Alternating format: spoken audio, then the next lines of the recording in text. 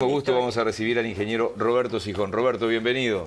Gracias a ustedes y saludos a toda la audiencia. Bien, hablábamos de la tecnología, Jorge, un programa entero haríamos con Roberto con respecto a la evolución de la tecnología, pero la invitación tiene que ver con este nuevo libro de Roberto Sijón, Los senderos del ocaso, anecdotario de un viaje muy especial a Polonia. Eh, bienvenido. Muchas gracias. Bienvenido. Eh, cómo vas a hacer para contar en los pocos minutos que tenemos, pero no vas a contar todo lo del libro, sino eh, lo que significa, lo que significó este viaje especial a Polonia para ti. Cómo no, primero quiero hacer un pequeño aporte a los homenajes a Marcha. Si mal no recuerdo la fecha, el primer, la primera edición de marcha fue el 23 de junio de 1939, alertando por el nazismo en Latinoamérica. Y conste que ah. no ha visto ningún, no, agarró el celular para no, no, no, no, no, no. Pero hay un dato, él es magíster en historia política este, y su director de tesis fue Gerardo Caetano. Es verdad. Este, así que bueno, tiene también una, formación y preparación en este tema. Mirá qué buen recuerdo. Este, sí, y en, un paréntesis, ¿sobre qué fue tu tesis? Mi tesis fue sobre las relaciones, el itinerario de las relaciones exteriores del Uruguay justamente entre 1938 y 1942. Diplomacia y política exterior en Uruguay. Sí, diplomacia y política exterior. O sea, la idea era ver cuánto sabían nuestros diplomáticos de lo que pasaba en Europa, eh, hacer una investigación. Elegí diplomáticos eh, ni más ni menos que en, en Praga, este, que después cuando Praga fue ocupada lo mandaron al hombre a Varsovia, en Berlín y en París. Y ahí se trató el tema. Por lo tanto, de alguna forma mi inquietud sobre el escenario temporal también se refleja en la voluntad que... Un escenario temporal donde el mundo miraba, miró para el costado durante varios, varios años, ¿no? A ver, vamos a decir así, tenemos que diferenciar ese mundo, quién es quién, el mundo que estaba en guerra y el mundo que no lo estaba. Yo me imagino que tú te referís al mundo que no estaba en guerra. Exacto. El mundo que no estaba en guerra eh, sí, eh, tiene una deuda pendiente para resolver, este, que también se ve en el viaje y se nota en el viaje, porque de última Estados Unidos este, entró en el comienzo del 42 a la guerra. Sí, sí. Y este, después de Pearl eh, Harbor, digo. Después de Pearl Harbor. Y respecto al tema de la Shoah y el tema del intento y casi concreción del exterminio del pueblo judío, eh, en el año 1936 fue la famosa conferencia de Evian en París, convocada por todo el mundo, de los cuales muchos países ni fueron, porque no fue la Unión Soviética, porque no fue Japón, obviamente no fue Alemania, no fue la India, pero sí fueron todos los países occidentales, también Uruguay. Y la idea era qué hacer con esos refugiados judíos que querían escapar de los guetos, de los campos de concentración, que todavía los campos de concentración estaban como que en una suerte de formación. Pero ya se circulaban las noticias, se sabía incluso, a ver qué hacer con ellos. Y en la conferencia de Evian se resolvió que no iban a entrar a ningún país. Y no lo lograron. O sea, se puede decir que hay una complicidad intelectual de lo que luego resultó ser una Shoah, cuyos actores fueron, obviamente, Alemania y los países ocupados. Pero el mundo occidental tiene que rever una mea culpa de ese tema, una toma en consideración que bueno, este, no haber en ese momento aceptado, no eran inmigrantes, eran refugiados. Y Uruguay siguió haciendo negocios con Alemania, ¿no? No, este, los negocios este, los hacía Estados Unidos también. No, no, los negocios corrían por carriles paralelos. no, no, no. Haciendo Los negocios por carriles paralelos. La represa del Río Negro tiene no, símbolos. Este, no, no, Uruguay estaba muy vinculado, Alemania era este, uno de los principales proveedores y clientes también, junto con Estados Unidos e Inglaterra. Estados Unidos más rezagado en ese momento. Y este y sí, yo este tema de la economía de guerra, que es un poco lo que tú traes, Daniel, yo lo agregué como anexos en el libro para darle un pantallazo. No estaba en el viaje, pero me parece que cerraba justamente una, consideración del momento. Es un tema precioso. Hoy eh, haría aniversario además de que Ben Gurion fue el primer, eh, ministro, De, Israel. Este, estamos en fechas este, con un contexto internacional este, muy complejo y, nada, me acordaba que yo hice un librito hace muchos años con David Telias sobre la inmigración judía al Uruguay. Sí, la Masá y el mate. La Masá y el mate. Precioso y que tiene que ver con, digo, toca este, un poquito lo que vos desarrollaste precioso en tus investigaciones desde otro lugar. Mm. Eh, conociéndote vos pones anecdotario de un viaje muy especial a Polonia, no lo leía el libro. Este, tratamos por lo general de respetar a los autores y hay alguien del panel que por lo general este, le echa este, una ojeada grande para respetar al que viene, pero yo te lo tengo que confesar así. Eh, además no estaba previsto que yo viniera hoy, pero bueno, un gusto de reencontrarme contigo. Yo igual espero que lo leas, tu opinión va a ser muy importante obviamente, Obviamente que sí. Em, lo programaste, es decir, hiciste itinerarios que estaban pensados. yo tenía, este viaje era una suerte de debe, pero sin apuro. O sea, ¿se, daría o no se daría un viaje de estas características a visitar los lugares de los guetos, de los campos de concentración, aldeas incluso, donde exterminaron a judíos, y grandes ciudades, o sea, Lodz, Lublin, Cracovia. Pero cuando se dio la oportunidad con un director, de, con un guía, director en educación, israelo-argentino, este, Mario Sinai, de Yad Vashem, que es el Museo del Holocausto de Jerusalén, dijimos, bueno, eh, es una muy buena oportunidad porque el guía eh, es de lujo. Entonces este, nos juntamos un grupo de uruguayos, de eh, judíos y no judíos, con israelíes, de, gente de Estados Unidos y Canadá, y armamos este viaje que sí, fue un antes y un después en mis emociones. Obviamente la del grupo, yo escribo el nombre en mi nombre personal, ¿no? Por supuesto, me hago cargo de, él. ¿En qué año fue el viaje? fue en mayo del 2023. ¿Y qué sucede? Yo tenía la idea de, digo, capaz que escribo algo después, pero por una suerte de inquietud personal, porque me gusta escribir escrito, entonces me decidí comprar una cuadernola. Apenas llegué y me la compré, que es la tapa del libro. Y empecé a escribir mientras pasaba. Y escribía y escribía este, al dictado, en fin. Y al retorno, cuando de alguna manera este, empecé a metabolizar las emociones, sentí la necesidad de este, plasmarlas en capítulos. Y ahí lo sacaste en, contratapa. Se, se, publicaron en contratapa, se fueron publicando en semanario hebreo. hebreo también. Este, entonces, seguí escribiendo los capítulos, los capítulos tenían, yo tenía interés de escribir una narrativa que tuviese un valor documental, digámoslo en esos términos. Había atendido por, por internet un seminario en la UBA que se llamaba El relato y el documento, un seminario muy interesante. Entonces, como también había fotos, por supuesto, decidí integrar esto en una narrativa, pero con un perfil ensayista y agregarle conocimientos, porque conocimientos nuevos y datos. Pero la verdad es que el viaje generó nuevas preguntas y, digamos, este, la revisión de los conocimientos previos. Varsovia, por ejemplo, la capital preciosa, ni que hablar Cracovia como ciudad, que Cracovia no fue destruida. De Varsovia no quedó nada, pero nada es nada. Entonces, años de escombros en las calles. Entonces, uno fue a buscar lo que no estaba. Entonces ahí se conjuga emoción, información, conocimiento e imaginación. Entonces, plasmarlo en una narrativa también lleva a tener alguna licencia literaria. Este, pero es muy removedor quedaron tres pedacitos de muro original del, del gueto. Sí, igual le pasó a, este, a, Varsovia lo mismo que a Berlín. Las dos grandes sinagogas de Berlín fueron hechas en base a fotografías y a planos que quedaron, también fueron totalmente destruidas. Mirá, es muy cierto lo que decís. En Varsovia hubo 120 sinagogas, quedó una. En Cracovia hubo 18, quedaron las 18. O sea, este, hay que ver que Varsovia en el gueto de Varsovia llegaron a ver este, 450.000 personas. De las 450.000 personas sobrevivieron 50.000.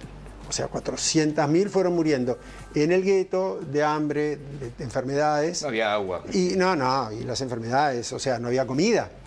Este, yo relato en el libro y agrego conocimientos. El plan del gueto, que era una innovación alemana de qué hacer con los judíos, tenía incluido un programa, vamos a decir, irónicamente y lamentablemente entre comillas, de alimentación de 184 calorías, lo cual significa que el gueto llevaba implícito la muerte por hambre de la población. Y después del levantamiento también. Claro, no, te quería decir, no contaron con el contrabando que se hacía, entre, entre otras cosas, de comida.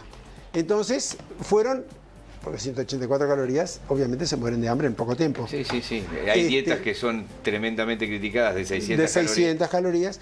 En concreto, luego, este, lo que agrega Daniela, el gueto fue sucumbiendo lentamente hasta el levantamiento eh, de, de, la rebelión del gueto de Varsovia, eh, que hay en, Varsovia un monumento extraordinario del levantamiento del gueto. Yo le dedico un capítulo a ese monumento. Y luego Debe ser de los monumentos más representativos de la resistencia. Es espectacular. Yo lo vi y me quedé impresionado. Impacta porque es un monumento de dos caras enorme, donde cada figura este, es, este, eh, vamos a decir, emociona y abre preguntas. Es, interesante. Este, eso respecto a, a Varsovia. Y luego el ver, el intentar transcribir la dimensión del nazismo. A mí lo que más me impactó es casi la complejidad de comprender ya no la categoría política, sino la dimensión humana del nazismo. Estamos viendo algunas imágenes, fotografías de algún museo de Varsovia justamente. Sí, y cabe decir algo también eh, con mucha honestidad. Varsovia tiene dificultades en resolver este tema. Cuando hablamos del mundo occidental, Varsovia las tiene. Por un lado, tiene leyes punitivas para quien diga que, que Polonia hay antisemitismo o fue antisemita, lo cual es algo muy paradojal, porque una ley que lleve preso a quien dé esa opinión en Varsovia, en fin, es complejo. Y por otro lado hay un museo llamado Museo Polín, que es uno de los museos más modernos de Europa, que lo ganaron el proyecto unos arquitectos este, de Finlandia, y refleja mil años de la historia y de la vida judía en Polonia. Bueno, viste que se va a hacer un nuevo museo hispano-judío en España, en Madrid. Ah, mira qué interesante. En el barrio de Salamanca se anunció esta semana el primero en su género, con grandes arquitectos también. Y bueno, ahí tenemos, como bien decís tú, otro foco, digamos, de gran este, vigencia judía este, en otra, en, una época, por supuesto, anterior. Y gran ah, antisemitismo hoy también. Sí, el tema del antisemitismo eh, es brutal porque cuando primero entender la, la capacidad de odio del antisemitismo nazi, que se nota incluso en el recorrido del viaje, más allá de lo que uno pueda estudiar. Ellos ya tenían perdida la guerra en el 44 y les importaba menos aparentemente perder la guerra, que la tenían muy clara, más allá del, digamos, de la... Que el exterminio. que el exterminio. Cuando terminan, cuando, no digo liberan, pero cuando los aliados y los soviéticos mm. llegan a los campos de, de concentración, los nazis organizan las famosas marchas de la muerte. Yo le dedico un capítulo a eso. Porque las marchas de la muerte, ¿qué justificación tenían? A ver, se supone, porque la pregunta está abierta. ¿En qué consistía, perdón? Que consistía, de acuerdo a algunos historiadores que estudiaron ese punto específico, en que se llevaban a los judíos remanentes de los campos de concentración, que eran despojos, despojos humanos, como escudos humanos para que los aliados no, no los bombardeasen. Pero por otro lado, el, tema que lo manejo justamente en el anexo económico, otro de los aspectos que, en el viaje impacta cuando uno visita Auschwitz, Birkenau, sobre todo Auschwitz, Birkenau, es que los judíos eran mano de obra esclava. Entonces se suponía que los querían llevar en la marcha a la muerte a seguir siendo esclavos en distintas fábricas que seguían produciendo elementos para los nazis. Pero entonces uno pregunta, esa gente no podía trabajar, aparte había ancianos. Entonces, cuando uno ve eso de la marcha a la muerte, bueno, les interesaba realmente más el exterminio que perder la guerra. Un odio irracional totalmente, ¿no? El odio es irracional, es el antisemitismo llevado a niveles, sí, bueno, el día yo diría, filosóficos, ya no sé cómo manejarlo. Bueno, cuando plantean la solución final que llaman, es decir, ¿qué hacemos y qué hacemos? ¿Los exterminamos? ¿Y qué nombre? Solución final. No, no, no. El nombre es un horror. Eh, en 1994, eh, este, estoy lamentando esto que estoy contando porque ahora que está la película La, este, Sociedad de la Nieve y está esta mm. grabación impresionante de Tomás, imagínate que Tomás contara su diálogo con Carlos este, Páez Vilaró y no, y no hubiera grabación. Sería bárbaro que lo contara, pero la grabación eh, es... Eh, entrevistamos con Sonia Brexi en Radio Sarandí a Ana, Ana Benkel de Vinocur. Sí, le hago un homenaje también a Ana. Este, Y entonces estaba la lista de Ginder recién estrenada, ¿no? Y, y ella dice que cuando metían a las mujeres en la cámara de gas y en vez de gas les tiraban agua, este, que era simulacros de la muerte. Es verdad, este, un engaño permanente.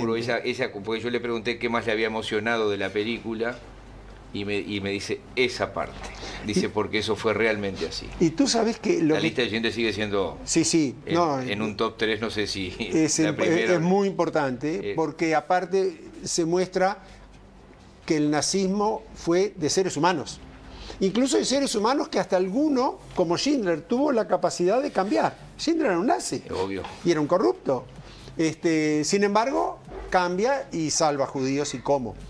Pero lo de la tecnología que haces mención es muy interesante, Miguel. Porque en ese momento no había televisión, lo que tenemos esta edad, sabemos que acá este, éramos niños cuando apareció la televisión en casa. Solo con radio, solo con radio, los nazis fueron capaces de insuflar ah. en toda Europa, en toda Europa, esto a nivel antisemitismo. Imaginémonos, que no quiero ni imaginarme, ah, lo, que hubiese lo que hubiese sido con... Redes sociales. Con redes, bueno, con redes sociales, con televisión. Mm con televisión. Bueno, en realidad el cine también ayudó. El, este, cine, sí, correcto. Y el humor, ¿no? El tema del humor antisemita es muy fuerte y se propagaba como rápidamente también en un nivel social. y es, muy importante. Y las caricaturas, las caricaturas La caricatura es, este, ¿vos sabés el judío con cuernos, el judío... Este, esas caricaturas... Como un chancho. Claro. Que, es lo que se lo recrimina. Con todos los este, formatos, eh, con la jiba y este, la nariz exagerada toda esa desfiguración de la imagen de judío, lo, puse después, porque yo investigué cosas mientras escribía el libro, que las fui agregando.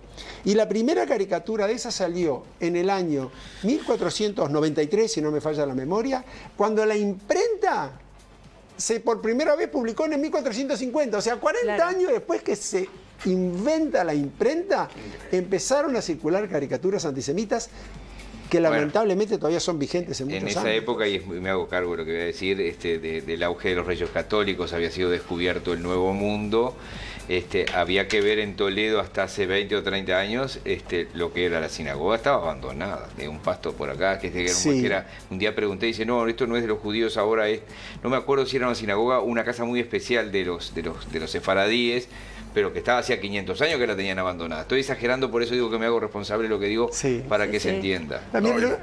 me hiciste acordar que hace unos años, dando un curso sobre el tema nazismo, este, holocausto, campo de concentración, escribí un artículo, ahora me viene a la memoria, el papel de la radio en la difusión del nazismo. Ahí hice una investigación porque era poco conocido esto, y es poco conocido es verdad. que los nazis usaron la radio ¿eh? que era el medio en ese momento. Tal cual. ¿eh? para difundir, Pero muchachos, para promover. La década del 70, acá en plena dictadura, escuchabas la voz de Moscú, ¿no? Sí, que, hacían uno de los chistes más grandes del siglo XX, que era decir, este, hablaban de, las dictaduras latinoamericanas, porque ellos eran unas democracias bárbaras, pero este, eso corre por mi cuenta. Este, pero usted Era verdad. ¿eh? Era verdad. Este, no corre por tu cuenta, por la tuya y por la mía. sí, sí, sí, la Unión Soviética, este, que en la fin de la década de 60 habían invadido Checoslovaquia, Hungría, que seguía con su, su gran invasión y con una democracia con los tanques en la calle y bueno, y con todo lo que... Este, era, era la radio, el, también era un vehículo de onda corta. ¿no? Yo me voy a retrotraer de nuevo al, al tema y específicamente de radio, porque también la BBC era una, una vía digamos, aliada en, británica, pero también Estados Unidos tenía por supuesto sus radios. Y la BBC durante años transmitía en alemán lo que estaba pasando con los judíos. O sea, no es que no se supiese, que es otro de los argumentos que andan en vuelta todavía.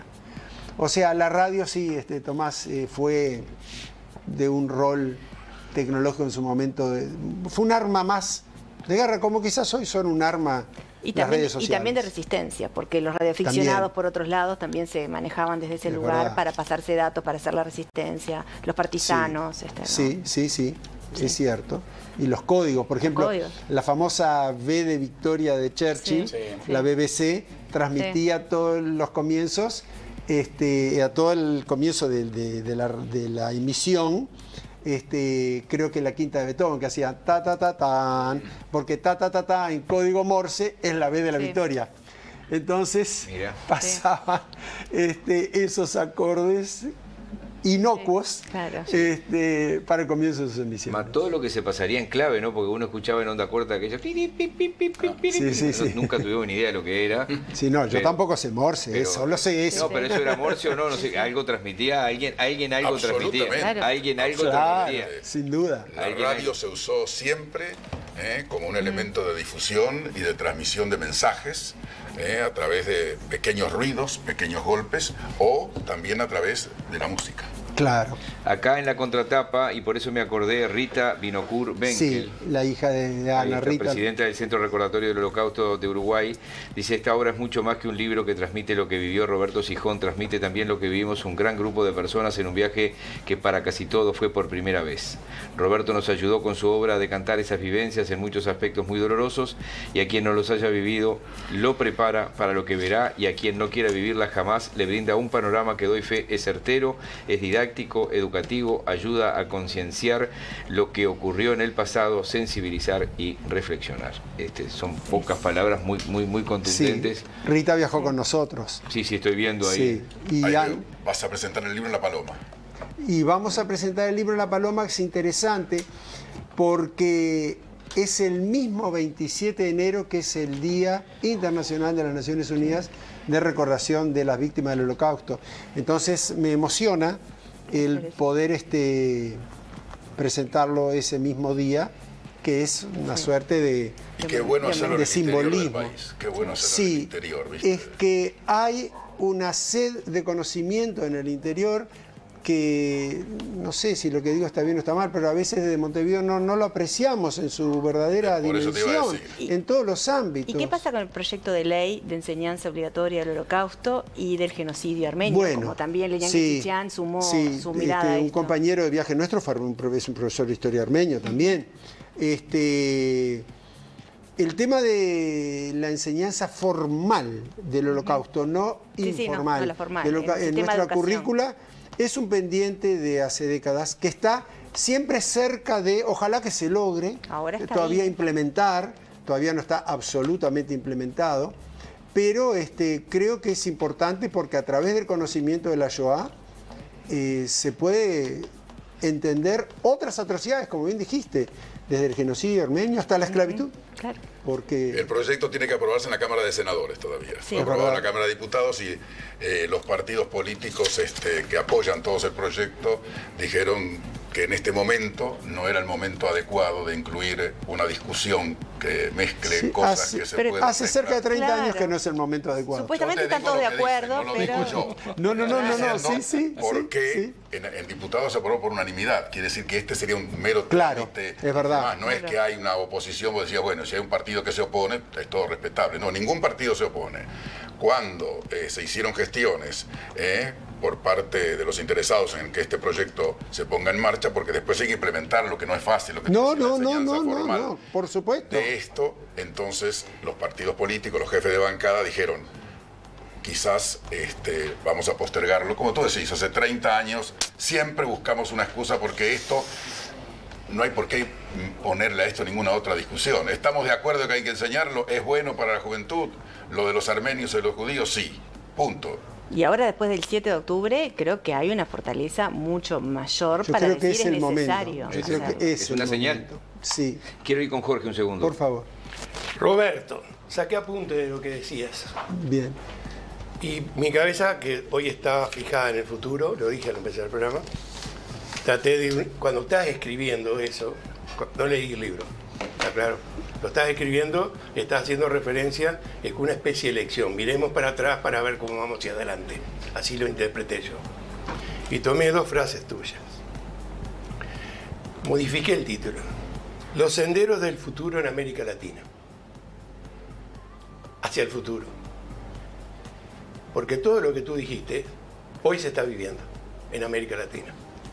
Y otra cosa, también en América Latina, contrabando, incluidas las comidas, también en América Latina. Perdona estas observaciones. No, no, está, está bien y déjame eh, agregar algo, porque yo estoy de acuerdo contigo y también es mi forma de, concebir que lo que importa siempre es el mirar para adelante y con cómo vamos a ir para adelante. Así lo tomé. Creo, no, no está bien. Creo que tenemos que siempre cargar alguna alforja del pasado, por lo menos para intentar no repetir, que suena un poco este, ambicioso, pero no repetir los grandes delirios del pasado que nos llevan a que hoy se padezca hambre en Latinoamérica, a que hoy este, haya situaciones asiagas que no debieron haber. Y en tal sentido, lo que tiene el, el análisis y el estudio de la Shoah es que incluyó todo lo horrible que se pueda pensar. Es decir, incluyó el hambre, incluyó contrabando para poder vivir, incluyó la voluntad de exterminar un pueblo, lo cual estamos hablando de algo que creo que no tiene antecedentes, más allá que también se pretendió con los nazis exterminar al pueblo gitano y asesinaron a medio millón de gitanos. Pero de última era un pueblo menor y más difuso que las grandes concentraciones judías que había en Europa. Entonces yo creo que sí hay que construir un mundo mejor. Tenemos la obligación de un granito de arena. Mi libro pretende ser un granito de arena porque más que eso no podemos hacer en concebir eh, todas esas atrocidades para que no se vuelvan a repetir, que siempre sea el momento oportuno de recordarlas. Es así. Bueno, está esa famosa frase de un general de los Estados Unidos, ¿no?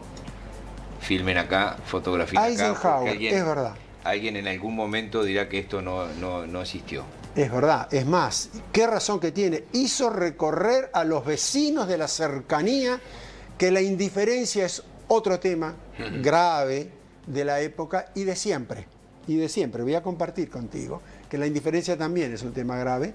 Este... Es importante lo que dice Miguel. Sí, y que él dijo... Cuando Eisenhower, que era el general en jefe en ese momento de las Fuerzas Armadas de Estados Unidos y que era protagonista, le dijeron no se pueden publicar estas fotos dijo, esta foto hay que publicar. Si Zuckerberg no toma esa determinación de pronto, pero ese fue el hecho. Era el presidente de los Estados Unidos en final de la, va a ser el presidente de los Estados Unidos. Seguro, terminó siendo el presidente. Terminó siendo, presidente. En ese momento era el general en jefe, incluso el que comandó el desembarco en Normandía. Nada más ni nada menos.